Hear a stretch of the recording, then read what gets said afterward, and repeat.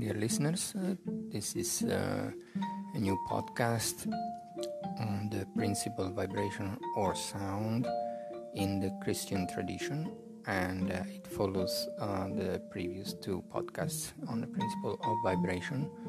And um, this is uh, related to the Kybalion, the third principle, and my book, The Seven Laws of Reality and Being and uh, we can uh, continue with the third podcast on the principle of vibration. So, in the Christian tradition, uh, we have a mention of this principle of vibration, and well, it's found in different um, traditions, but uh, in the Bible, there is one passage.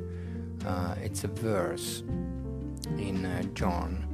Um, New Testament, and uh, it says, In the beginning was the Word, and the Word was with God, and the Word was God. So, this is the passage.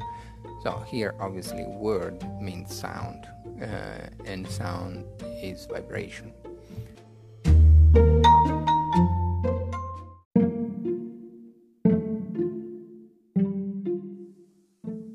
So, if we want to interpret this um, passage, we could say that um, basically in the beginning, the origin of all is a, a, a sound, it's a vibration, and this vibration is equated with God, which is the primal, um, timeless mind of pure being, which is uh, the principle of mind, basically, and uh, in uh, through sound, through vibrations, everything is produced. Um, and that this uh, sound can uh, be also not just the sound that you can hear with your ears, but it can be um, a kind of natural sound or secret sound.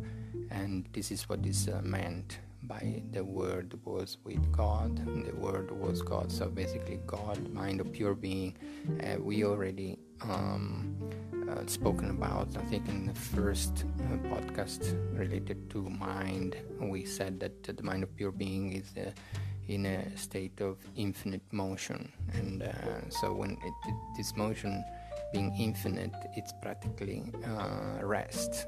You know, if you see like a wheel uh, moving infinitely fast, it looks like it's at rest, and um, so this this why this is why the sound is in, is in, uh, introduced here as God.